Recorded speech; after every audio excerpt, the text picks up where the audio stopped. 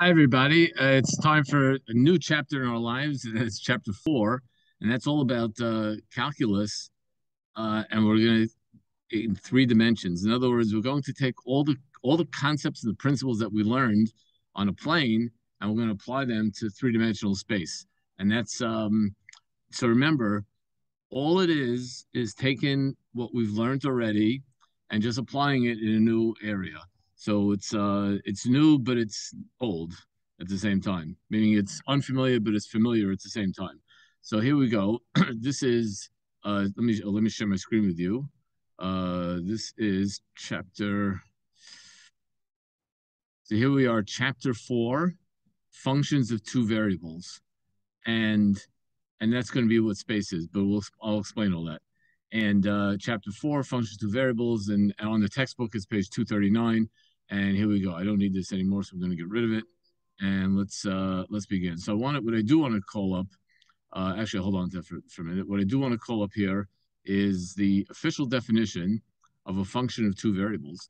So the official definition of a function of two variables is that you have an ordered pair, x and y, and that's your input.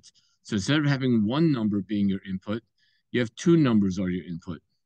And the function so now, once we, we already use it, usually it's y equals f of x. That's what we had down here, y equals f of x. The thing is, we're using y and x here. So what do we get? So what, so what, what letter are we going to use? Well, we're going to go to the next letter, z. So we're going to write it z is equal to f of x comma y. So x comma y is an ordered pair. Is two is basically just two numbers, and z is the function of these two numbers and the function can take any form, a polynomial, a fraction, whatever, all exponent, all these different things. So um, the uh, let's let's give an example. I think giving an example make it make a lot more sense. So I'm going to switch over to my paper, and I'll show you what I'm talking about. Uh, here we go. I'm switching over, and I'm going to write some stuff. Oh, I got to change my background, and we're going to be in business here uh, have to unblur, and now I'm going to change to the other camera, and now we are, ah, okay, perfect. Now we're in business. So as an example, I don't, if, I don't, if, if I don't know if any of you guys ever rented a car, but when you do, they charge you, they charge you by the day. Some, you know, some of them have different deals, whatever. They charge you by the day, and they also may or may not charge you by the mile. And of course, there's always different deals. Some some don't charge, whatever. There's all different deals. But often, it's very common they charge you by the day and charge you by the miles, meaning you have to pay a certain amount for every day you have the car. It means even, even if you take the car and don't drive one inch, you take the car, you park it, and then you leave it there, and then when it's when you're finished, you, you park it right by you know right next door to the to the to the uh, rent a car place, and then uh, when when the time is up, whatever many days you have it for, you, you just bring it back, and you've driven maybe like you know ten feet. Uh, well, it doesn't matter because the fact you had the car this you know let's say whatever three days, whatever it is, they're going to charge you for three days uh, worth of having the car, even if you did even if you didn't drive one inch. On the other hand, if you let's say you only drive the car for one day, uh, or or you know you only have the car for one day, and you drive like 50 billion, you know, you drive like to Seattle or something. So you drive like, I don't know, a thousand miles, or more than a thousand.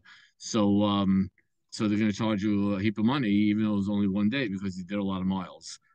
In other words, the, the final cost, the final cost for your payment, it's really, it's not just a function of the number of days and it's not just a function of the number of miles. It's a function of both of these things. And that's why we have multivariable um, functions because you know, I mean, that's the way things are in life. Things are in life are, are usually made up of a lot of different factors that, that factor into something. And this is a very simple example. So let's say, for example, you rent a car and it's, let's say it's, let's say that it's $40 a day. I'm going to write that down. $40 uh, a day. And they charge you 15 cents uh, a mile. So 40, they charge you $40 a day. So the way I'm going to write that is that the cost, C stands for cost, of, now I'm going to write this as, as a multivariable equation. So we're going to write it of D, comma, m, where d, of course, is the number of days and m is the number of miles. Okay, and the only thing is, I have I have something here that's that's not good, because if you notice here, I have dollars and here I have cents, and and we know when we put things together into an equation, we need them to be the same the same. So I'm going to go with dollars. After all, there is a place, dollar rent a car. This is not a paid advertisement. Anyway, so it's going to be 40D plus 0.15 M, meaning that every day is another $40 and every mile is another 0.15 of a dollar, which is 15 cents. And if let's say you're going to have the car for four days and drive 100 miles. So that would be C of 4 comma 100. And it's going to equal, according to the formula, 40 uh, times 4 plus 0.15 times 100. And again, that's a case of 40 days uh, and uh, 100 miles. Sounds like a, a, song, country song. 40 days, 100 miles. Anyway, this is uh, 160 plus 15, which equals 175. So, so the cost of 100. Now, what if I would switch these guys? C of 100 comma 4. I'm switching the 4 and the 100. Well, that has a whole different meaning. That means you're renting the car for 100 days, which may as well buy it at that point and and you're only driving four miles. So you, are renting the car for 100 days. You only drive. That's kind of a weird, crazy thing to do. But I'm just saying, and, and maybe in real life you'd never do such a thing. But that's what this means. And according to the formula, that will come out to be, even though you've only driven four miles, according to the formula, that is going to be 100 times, uh, I'm sorry, uh, 100, uh, 40 times 100 I'll just write times 40, doesn't matter. Uh, 40 times the number of days plus 0.15 times the number of miles, which is 4.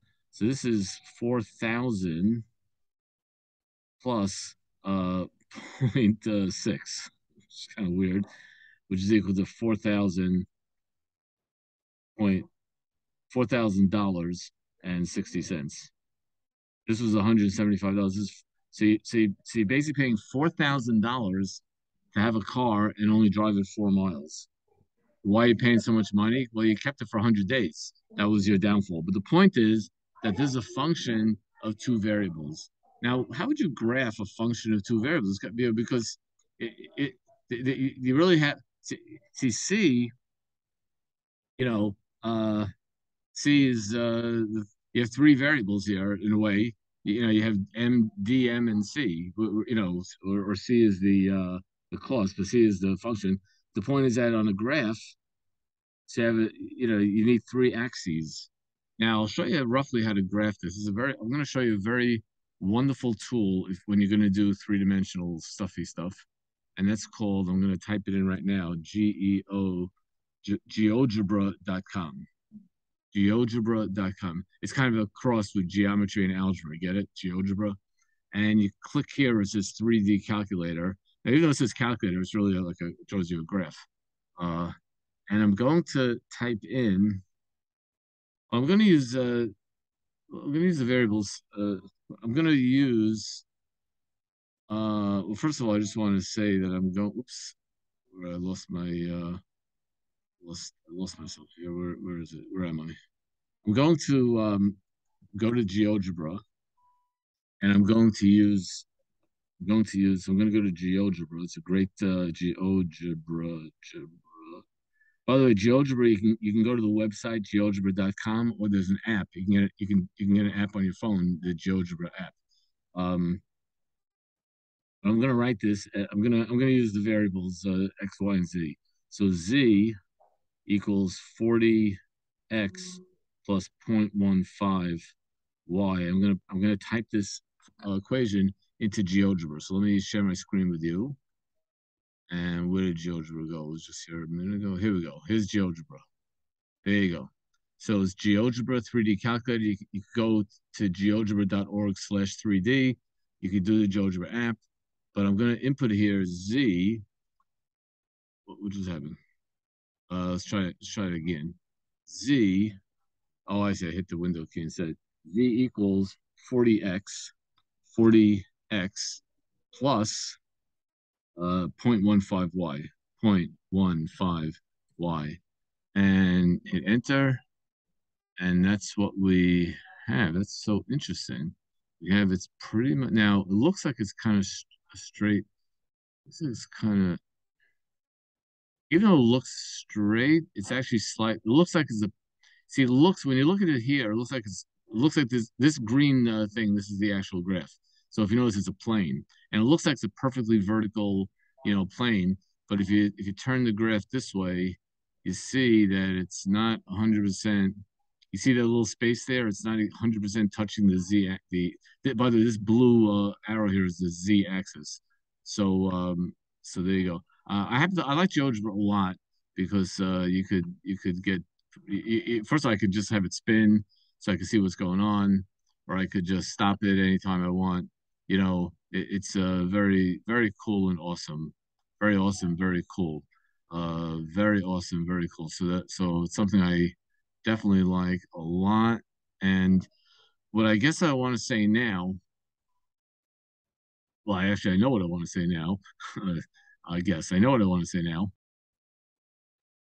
Is basically how can you tell which is which axis is which? I see a red, a green, a blue. How can you tell? Well, the, the vertical axis that they saw is, is the z. The, blue one here is the z. But between these two, between the red and the green, which is x and which is y? Well, one thing that Jojo lets me do is let me lets me position it. So notice that the the, the blue axis, the, the x-axis, the z-axis, I should say, just kind of disappeared. And I'm looking at what they call a bird's eye view. So if you notice, the uh, the green uh, curve goes like this. That means that a very small change in x get, brings about a very large change in y, which means that the red axis is the x-axis and the the green axis is the y-axis because any change in x gets multiplied by 40 as a change in y, whereas a change in uh, y gets really is actually uh, by 0.15, which is less than one. So so really, um, based on the you know based on the uh, I guess I'm going to say the slope here, this is what you're going to have. This is bird's eye view. So therefore, the green is the y, and the uh, red is the x. And again, GeoGebra is a fabulous website. Uh, let's just play with it a little bit, and then and then we'll go back. I'm going to get rid of this. So we're done with this here, and I'm just going to do uh, z equals um, x uh, squared, oops, uh, squared uh, plus, so well, look at that, z equals x squared. You get a sort of a parabola, it's like a sheet of paper bent, folded, like sort of a parabola type shape. Uh, and let's, let's add in a y squared plus, oh, look at this, when you add the plus y, it becomes like a sort of a, a, a sort of a slide, like Chutes and Ladders here. But, and if I put an exponent on that, we get this. Oh, look at this. It's sort of a circular parabola. And you could look at you could look at this thing from every different angle. You could spin it around. You could well here nothing's happening. I, it looks like nothing's happening, but because it's so this is so such a symmetric thing. You can look from every you can look from the top, from the bottom. Uh, it's really just a, a, wonderful, wonderful program, and it, and it makes the three dimensional, uh, you know, math so much easier because now you can visualize. You know, when I was in when I was in school, Sonny, I was in school, we didn't have these programs, and you had to really try to visualize. It was it was not easy. Did the best we could, but you know, here you you. I'm looking at this. It, it, the pictures aren't in front of us. Makes it much easier to picture what's going on, and uh, the more and, and, in general, the more you can get a better visual understanding of what's going on, uh, the more and more you can visualize what's going on, the the, the easier the math uh, winds up being, because it becomes more. It just makes more sense and um, takes takes the, the the drama and the mystery out of it. Okay, well anyway, we're gonna go back to our we're gonna go back to uh, some more more math. Speaking of math. Okay, so let's do a new example. Let's say that we have function. Now here we're gonna do a function of, of four variables. So I, can't even handle this. I, can't even handle this on the GeoGebra. Sorry about that. But here's a function of four variables: f because like I say, they're very often. I'll give it, you know, uh, x, y, z, w, x comma y comma z comma w uh, is equal to 35 times x squared w minus 1 over z plus y z squared. So we want to evaluate, we want to evaluate f of 0, comma 1, comma 2, comma 3. Uh, we want to know what does that equal? Well, that equals, uh, this equals, let's see, x is the 0. So this equals uh, 35 times 0 squared times 3. And of course, the whole thing is going to be 0. Minus 1 over z, which is uh, 2. Plus y, which is 1. Times z squared, which is 2 squared. So we basically have negative 1 half plus 4, which is, uh, I'm going to say 3.5. And there you go. That's that's our that's our answer. So uh, yay. So we could evaluate a function. Now, like I say, it, you know, in, in real life, you know, life imitates art, but you know, in real life, things are functions of, of uh, more than one variable. It's very common. Uh, you know, a very great example of that, by the way, is the um, the weather. You know, the weather is a function of uh, temperature, it's a function of humidity, it's a function of wind, um, is a function of pressure, air pressure. There are a lot of factors that affect the weather, that affect how you feel. You know, it could be it could be the same temperature. You know, guys, most of you guys are, are from here in Southern California, uh, where we do not have a lot of humidity. But I got to tell you, humidity makes a huge difference in weather. I, I mean, I, I I'm originally from the East Coast, and trust me, you could have a day where it's 72 degrees on the East Coast, but it feels worse. It feels hotter than a day here where it's like 80 degrees or 90 degrees even, uh, because the humidity just makes you feel all sweaty and you know yucky. So uh, that's just a fact. And and the wind affects it. Sometimes wind cools you down. Sometimes wind heats you up, depending on you know a lot of factors. A lot of factors. Well, here we have wind when you get here in in in uh, San Diego. We get these things called Santa Anas. I'm sure you've heard of them. And uh, you know the, the, they have wind which actually make you know makes you makes things hotter. So um, there are many factors in in the weather. There are many many many factors. Uh, and of course, position, longitude, latitude, elevation. There are many many factors that affect uh, that affect the weather and affect how you feel. So uh, that's what I'm talking about. life has a lot of variables and factors. And and and why am I saying this? Because a lot of times students, when they learn, when they talk about multivariable, they start like freaking out and they start saying, "Well, I can't picture four, what's four dimensions. Oh, the fourth dimension. That sounds like science fiction." But we don't really mean it that way. Don't like, don't even try to picture as a as a four dimensional. Eh, dimensions in math just means variables. Means different variables, different uh, different variables. That's um, that's what we mean when we say multi-dimension. It just means multi or multivariable. It just means several factors that affect something. That's all it means. Let's see if we can let's see if we can locate some points. How do you find a point?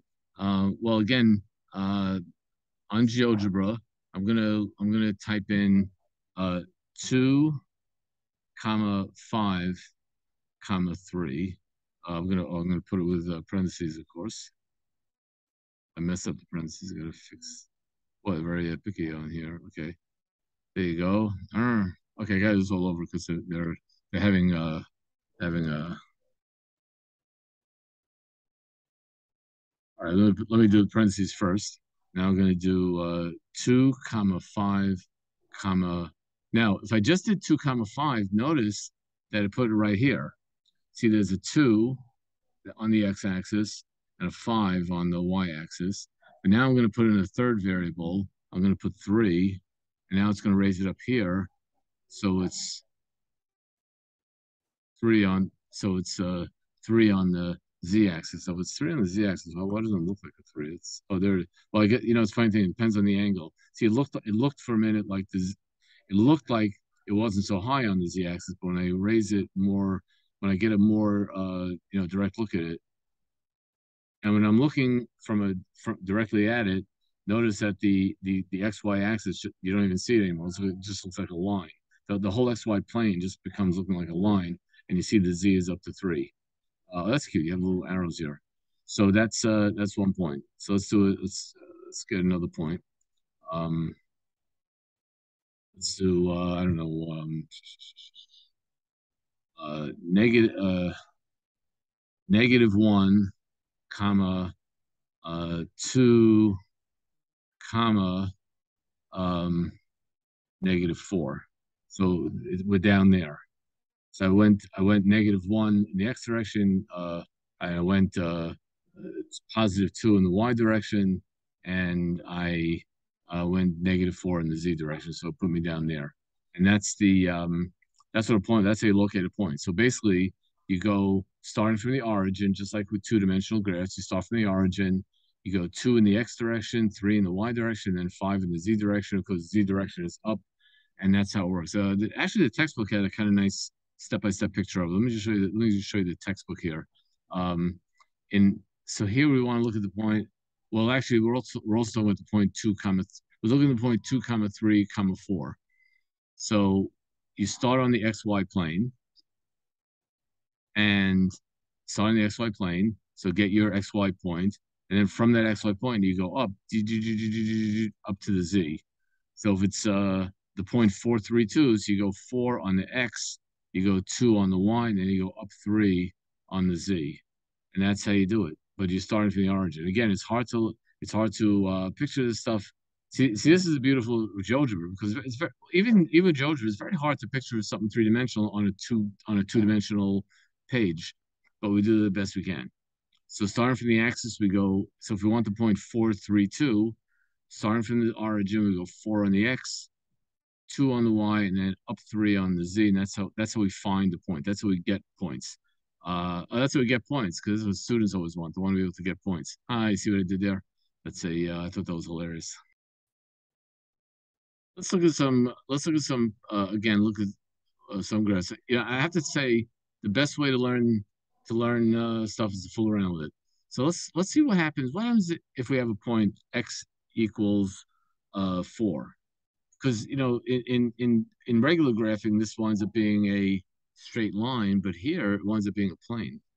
It winds up being a plane. Now, of course, x equals four, so it hits the x-axis at four uh, and it's parallel. If you think about it, it's parallel to the, to this plane. This is called the YZ plane because you have the y-axis and the z-axis, so it's sort of parallel to this to the plane, um, perpendicular to the x-axis, just like just just kind of like the just like x similar in a way to x equals four uh, in um, in x equals four in in um, you know regular regular graphing, two dimensional graphing.